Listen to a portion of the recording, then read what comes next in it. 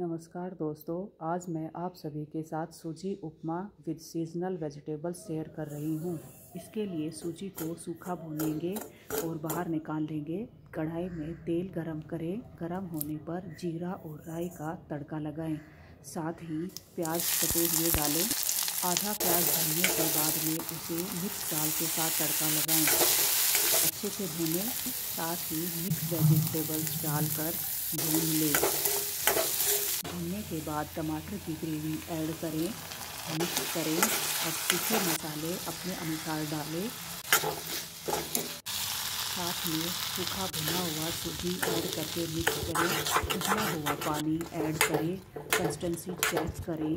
उसके बाद नींबू का रस मिलाएँ और सर्व करने के लिए आपकी झटपट सूजी की उपमा तैयार है। आप इसमें अपने अनुसार सब्ज़ियाँ ऐड हैं। गर्मा गर्म सूजी उपमा खाएँ और अपने प्रिय को खिलाएँ।